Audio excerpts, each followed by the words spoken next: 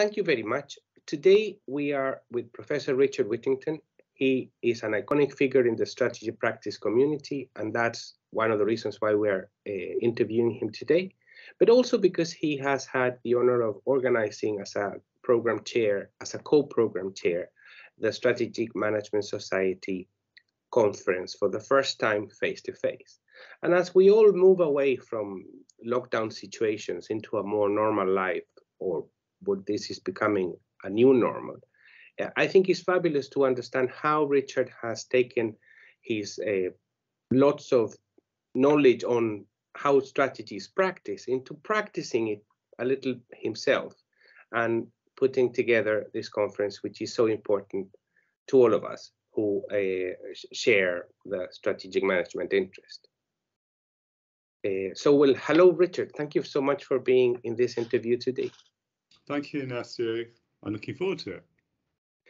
Well, let's start by discussing first, how did you come about uh, to organize this um, this this strategic management society conference face to face for the first time in London?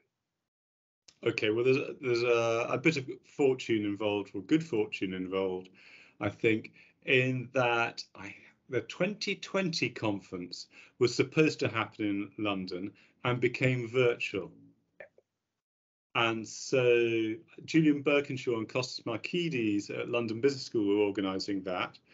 They had the, the bad fortune to have that stuck on on in, in the virtual space um, and then they organised a successful conference, of course, and that must have been very, very challenging for them. But when uh, the SMS wanted to come back, they thought, well, let's go back to London. It's still London's turn. And of course, London's a great place to organise a conference. But I'm not quite sure whether Julian and Costa said, no, never again, there's too much work, or whether SMS said, well, we've had Costas and Julian, we'll try a different team this time. Um, so they approached me, and um, that was uh, just, I think, a matter of chance. They're looking for people who'd been involved in the SMS for some time and kind of knew the ropes. Um, so that was part of it. Then uh, it was important to find another partner institution um, in London, and I can't remember where it came up, whether it was they suggested Imperial or I did, uh, but then we got Anu Wadhwa involved as well, which is important. It's important to have a juniorish scholar um, to sort of promote another generation as well. Yes, of course. Uh, I, I, well, uh, as you know, I work here in the UK. I'm, I'm really pleased that it's happening in London, amongst other things, because I just need to take a train south and get there. Uh, but I suppose there will be challenges organizing it in London face to face for the first time. There might be people who, I don't know, think they can attend online and offline. And how has that been uh, navigating that very difficult transition into moving back to this new normal? Well, we shall only know in September for sure. and in the meantime, of course, everything has been digital communication, so it's business as normal. We've had one or two people approaching us after acceptance of the paper saying, can we attend digitally um, or virtually? And as we said in the announcements, actually, no, unfortunately, we, we can't permit presenters to do that. Of course, co-authors might choose somehow to use a, uh, you know, their, their co-authors' mobile phones to attend like that, but we're encouraging everyone to turn up in person to, to achieve all the good things about in-person meetings and recover those relationships and those you know fortuitous meetings and accidental encounters that are so productive for research. Absolutely. I think one of the best features the sms had was that you could network freely in the different uh, social events that occurred.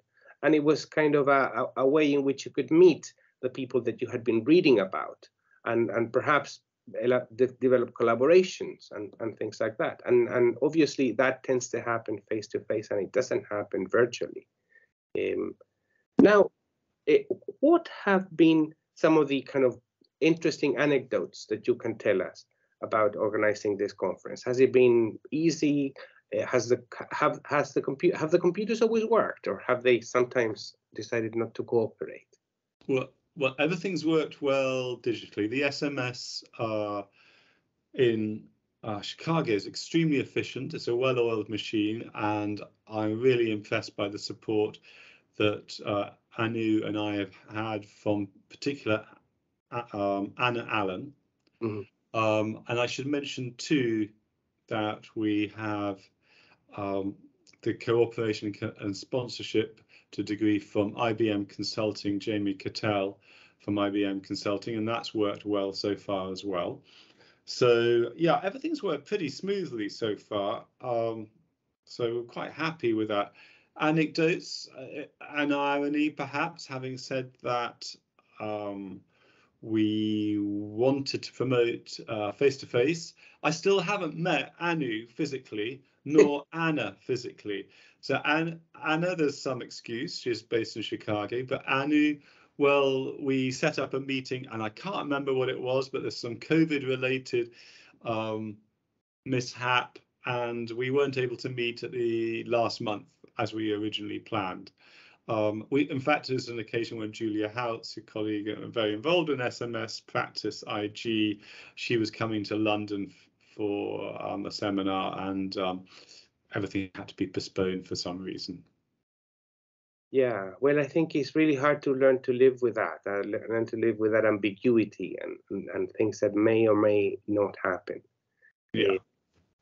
And and going back to I don't know the memories that you had from SMS before do you think this SMS is going to be just like any other SMS? It's going to be um, physically we're going to meet in in a in, in, kind of small rooms and big rooms and in this type of hotel thing, or are there new things that that may that may have come up?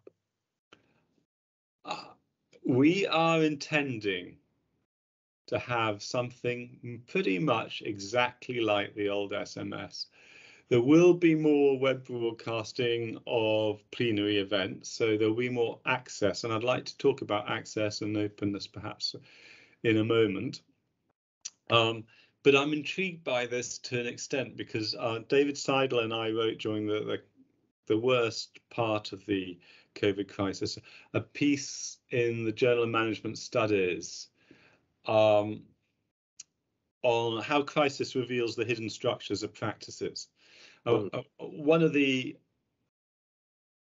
interesting aspects of the crisis for practice theory was how um, that theory takes for granted or, or at least um, focuses on particularly gradual incremental change. Uh, the, the essence of practice theory is to emphasize routines, repetition, patterns.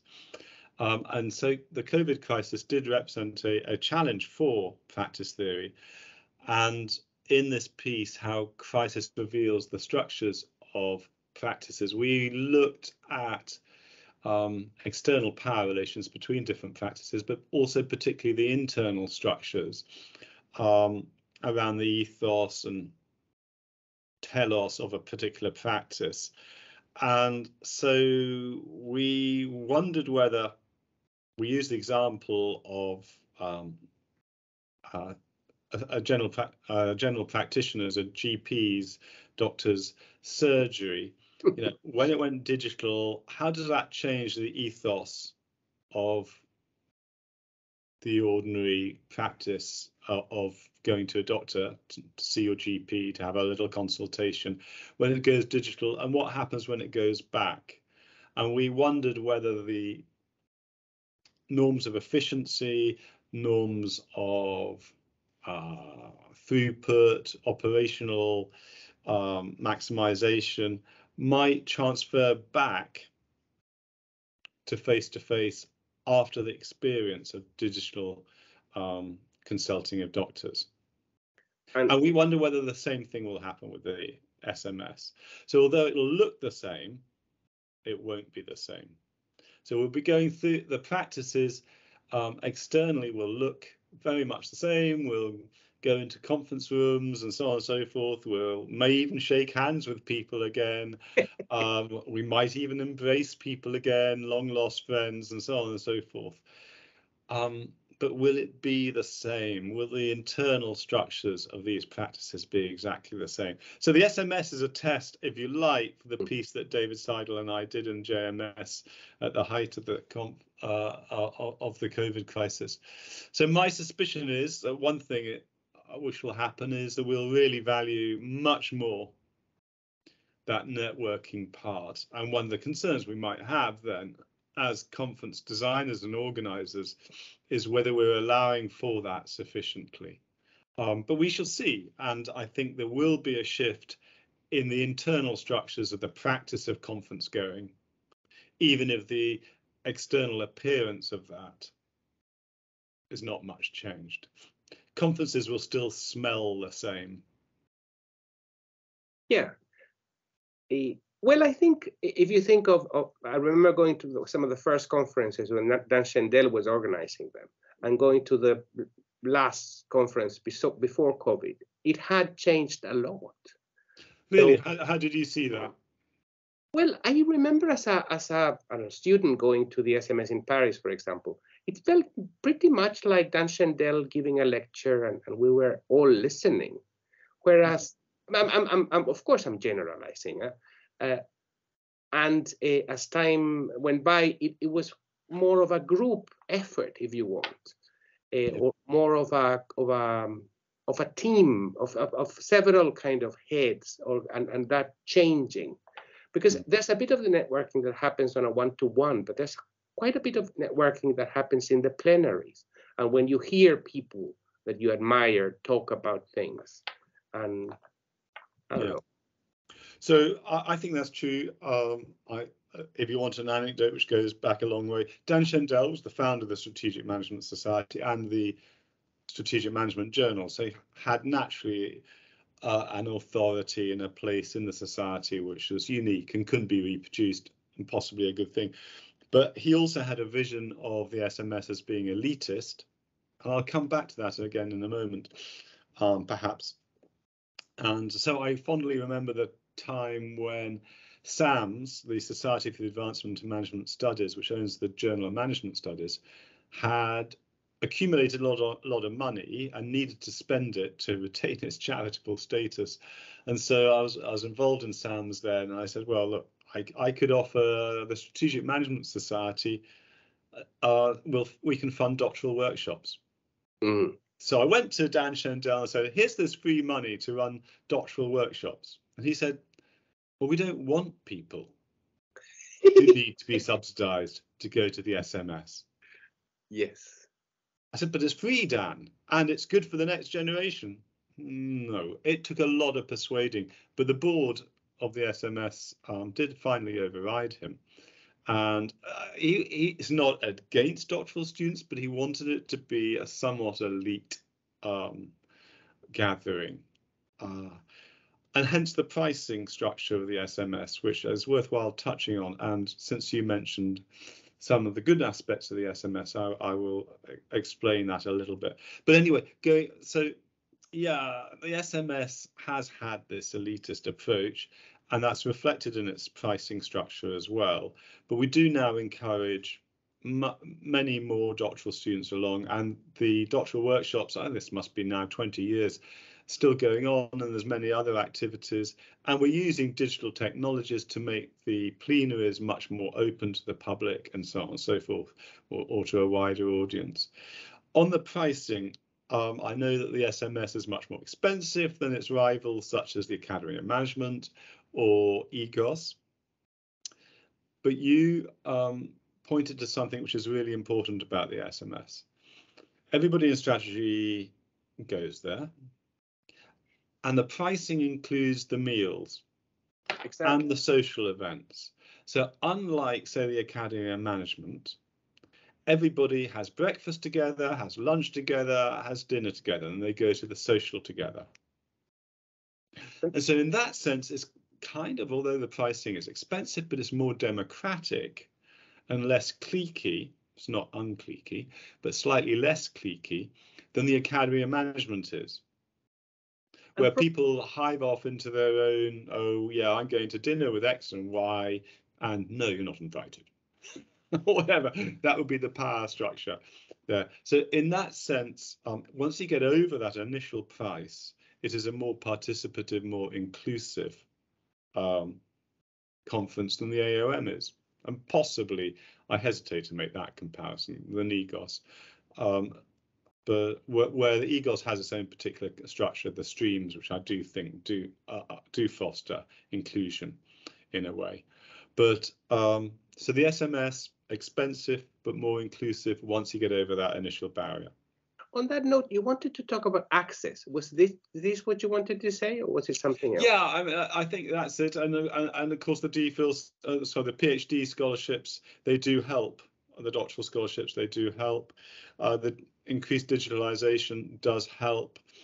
Um, what we um, one of the things we want to do with the open title um, of the conference uh, is innovating strategy for an open world. Mm-hmm. Um, in a sense, I wanted to reference one of my interests, and that's open strategy, on which David Seidl and I have both written, and Julia Hautz has written, of course. Um, so that was one of the themes we wanted to emphasize. But I also had in the back of my mind a more open uh, approach to participation. Uh, we one of the themes I won't mention which we did try and design to be much more um, open to say for indigenous theory from the global south and, and issues like that. So and we wanted to be a little bit more open to on the boundaries of strategy. So there's something on the new new kinds of work. So we we wanted to be a little bit more permeable in terms of our boundaries, um, symbolic and overdue.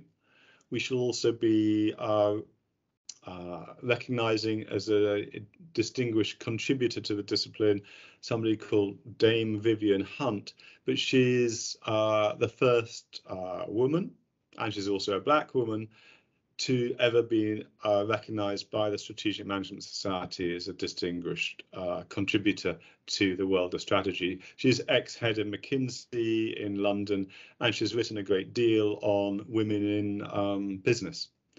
So Dame Vivian Hunt will be one of our distinguished speakers, or uh, she will have a, a, a plenary platform to speak about issues that she should choo choose herself. But we wanted to be more open in that way instead of having I am a white male, um, same, same another white male along. So that was important. And we're also running, uh, Michelle Rogan has been very important in this at Imperial.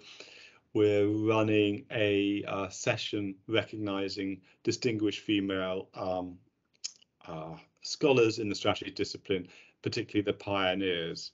So if you think about some of the, in, in, many ways, strategy has been quite successful by comparison with some disciplines um, in incorporating women in the in its founding generation or or founding generations at least. You think of Kathy Eisenhardt, who I believe is the most um, cited yeah. scholar in the strategy discipline, Marjorie Peteraf, Connie Helfat, Kathryn Harrigan, people like that. There have been many, many distinguished female scholars who who've shaped the discipline in important ways. Marjorie um, Lyles. Oh, sorry. Marjorie Lyles.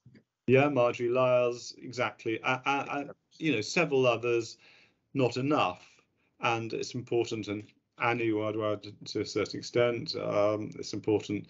You know, um, that's important too to have a, another woman co-organizer as well as of a different generation to my own. But if it helps in the strategy as practice uh, leadership group in the strategy in the SMS now, almost all of them are women except for two. Well, that's great. Yeah, I'm great. Julia Balogun and Paula Jarzabkowski were very important founding figures and, and still active figures yep. In the strategies practice community. So, yeah, I think that's really important. Um, so, protecting and enhancing, developing that diversity both theoretical. I made a reference to indigenous theory uh, uh, and things like that, and that's something I've been working on with my colleagues Duncan Angwin and Patrick Regner in our textbook, um, Exploring Strategy, then the new edition will have much more reference to theory from the global south, from the east, uh, and, and indigenous types of, for instance, leadership theory and things like that. So um, I think the strategy discipline is changing. I've no noticed that Michael Hitt, um, a really important figure in the strategy discipline, is writing again in the Journal of Management Studies um, on indigenous indigenous theories, um, and uh, that that greater inclusivity is again part of that openness in the title of the um, conference, Innovating Strategy for an Open World. That's fabulous. Thank you very much, Richard. This has been a, a, fantastic interview. I hope you have enjoyed it as much as I have. And I'm sure everyone in the Strategy as Practice community will enjoy it as well, as well as the broader SMS. Good. Well, thank you, Ignacio. That that was fun. Um, hope to see people in London at the Strategic Management Society. Absolutely, that's the idea. Thank you. Okay. Thank you.